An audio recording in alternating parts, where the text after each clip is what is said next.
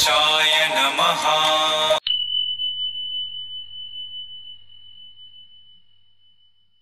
back to our channel ninety স্কিডোজ আৰু আজি আপোনালোকে দেখিছে মোৰ লগত মোৰ লগৰ দুজনী মনালিচা আৰু গোপা নাই কিন্তু লগত আৰু দুজন জড়িত হৈ আছে আৰু সেই দুজনৰ মই চিনাকিটো দি দিছোঁ এজন হ'ল মোৰ ভতিজা মৃদুস্মাই চে হাই হাই আৰু সেইজনী মোৰ কাজিন চিষ্টাৰ কৰবী।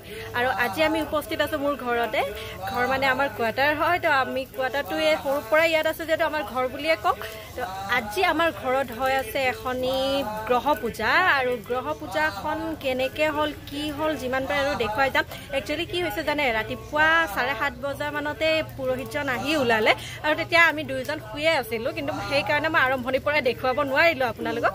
এতিয়া আহ, কেইটা বাজিছে বাৰটা বাজি গৈছে তথাপি মই যিমান পাৰোঁ আহ, দেখুৱাই যাব চেষ্টা কৰিম মাজৰখিনি মই দেখুৱাব নোৱাৰিলোঁ অলপ ঘৰৰ মাৰ লগতো ব্যস্ত আছিলোঁ কামত তো যিমান পাৰোঁ এতিয়া দেখুৱাবলৈ চেষ্টা কৰিম আৰু এইখিনিতে এটি কথা কৰিব বিচাৰিছোঁ আপোনালোকে আমাৰ চেনেলটো যদি আমাৰ ভিডিঅ'টো ভাল পায় তেনেহ'লে এটা লাইক কৰি দিব আৰু আমাৰ চেনেলটো সাবস্ক্রাইব করে দিব ओम बम बुधाय नमः स्वाहा ओम बम बुधाय नमः स्वाहा ओम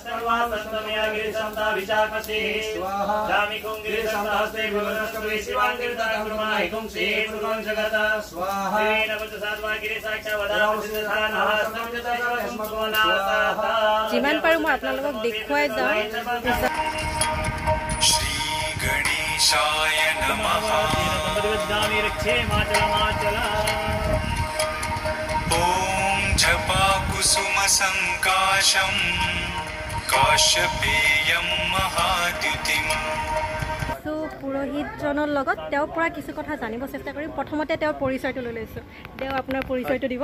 নমস্কাৰ মোৰ নাম শ্ৰী গোলাপ শৰ্মা। মই ঘৰ মোৰ মংগলদৈ আৰু মোৰ এডুকেশ্যন হৈছিলে এলাহাবাদ ইউনিভাৰ্চিটিৰ পৰা। আৰু মই সংস্কৃতৰ পৰা আশ্চৰ্য কৰিছিলোঁ বেদৰ পৰা। আৰু এতিয়া বৰ্তমান মই এটা পুৰোহিত হৈ ইয়াতে বৰ্তমান পূজা পাঠ কৰি লোকৰ কল্যাণৰ কাৰণে লগতে নিজৰ কল্যাণৰ কাৰণেও তাৰমানে পূজা পাঠ কৰি ঘূৰি ফুৰিছোঁ এয়া মোৰ এটা বৰ্তমান কৰ্ম আৰু ধৰ্ম। নমস্কাৰ। ঠিক আছে মই দেওক প্ৰশ্ন কেইটামান সুধিব বিচাৰিছোঁ। প্ৰশ্ন মানে জানিবলগীয়া কথা আপুনিও চাগে জানিব বিচাৰে ময়ো জানিব বিচাৰিছোঁ সেইকাৰণে সুধিছোঁ। দেও মই জানিব বিচাৰিছোঁ গ্ৰহ পূজাখন অকল গ্ৰহত দুখ থাকিলে কৰে নে এনেও ঘৰত কৰিব পাৰি? নাই ঘৰখনৰ প্ৰতিখন ঘৰতে তাৰমানে গ্ৰহ পূজা এখন কৰিব পাৰে আৰু ঘৰত দুখ থাকিলে বুলিয়ে নহয় এনেও গ্ৰহ পূজাখন কৰিব পাৰি। কাৰণ আমাৰ গ্ৰহটো হ'ল কোনো বেয়া বস্তু নহয় এইটো কোনো বেয়া কথা নহয়। পূজা মানে সকলো পূজাকে আমি পাতিব পাৰি। কিন্তু গ্ৰহ পূজাখন মেইনলি যাৰ যাৰ মানে মুখ্য গ্ৰহকেইটা বেয়া থাকে বা অলপ কমজোৰ থাকে বা কোনোবা এটা গ্ৰহ কোনোবা এটা গ্ৰহক তল ওপৰ কৰি ৰাখি আছে তেওঁলোকৰ কাৰণে তাৰমানে গ্ৰহ পূজাখন এনেই মেইনলি কৰা যায়। কিন্তু গ্ৰহ পূজাখন এনেই ঘৰুৱা পৰিৱেশত কৰিব পাৰি। এখন ঘৰত গ্ৰহ পূজা এখন লাগে। জানিব বিচাৰিছোঁ আপুনি যে হাতত বান্ধি দিছে ৰক্ষা চক্ৰডাল এডাল মই শুনিছোঁ বা দেখিছোঁ যে পুৰুষে সোঁ হাতত মহিলাই বাওঁ হাতত বান্ধিব লাগে। তাৰ কিবা অৰ্থ আছে নেকি?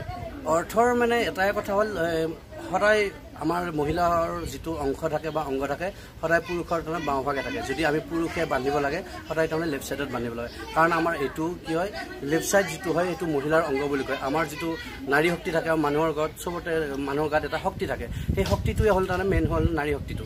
গতিকে আমাৰ তাৰমানে সেৱা কাৰণতেও সেইকাৰণে মানুহজনীক বাওঁফালে লয় বা পুৰুষজনক সোঁহাতে ৰাখে। আৰু মেইন কথাটো সেইটোৱে তাৰমানে মেইন উদ্দেশ্যটো এইটো হ'ল পুৰুষৰ ছাইডটো তাৰমানে সোঁ ছাইড হয় আৰু মহিলাৰ ছাইডটো তাৰমানে লেফ্ট ছাইড হয় বাওঁ ছাইড হয়।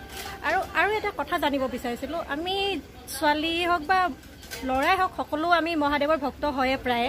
আৰু ধৰক আমি এতিয়া মহাদেৱৰ ভক্ত যিহেতুকে পূজা এখন কৰিব গ'লে মহাদেৱৰ তাত বেলপাতটো কয় যে মহিলাই ছিঙিব নাপায় পুৰুষে ছিঙিব পায়। ইয়াৰ আৰু কিবা কাহিনী ভাগ জনাব পাৰিব নেকি? ইয়াৰ বিশেষ কাহিনী একো নহয় মানে যিটো আমাৰ বেলপাতৰ এই উচৰ্গা কৰাৰ নিয়ম আছিল সেইটো পুৰুষে তাৰমানে এইকাৰণে কৈছে কি মাতা পাৰ্বতী পাৰ্বতীক বাহিৰে তাৰমানে তেওঁ তাৰমানে পুৰুষৰ মহিলাৰ পৰা তাৰমানে বেলপাত দিয়া নাযায়। গতিকে তেওঁ যেতিয়া পাৰ্বতী মাতাই যেতিয়া সতী মাতাই যেতিয়া পূজা কৰিছিল তেওঁ তেওঁ দিছিলে। সেইকাৰণে তাৰমানে তাৰ পৰা আৰু কোনো দিয়া হোৱা নাছিলে। সেইকাৰণে তাৰমানে পুৰুষে তাৰমানে ছিঙিবৰ কাৰণে অনুমতি হয়। এনেই তেওঁ সেৱা কাঢ়িব পাৰে চবে।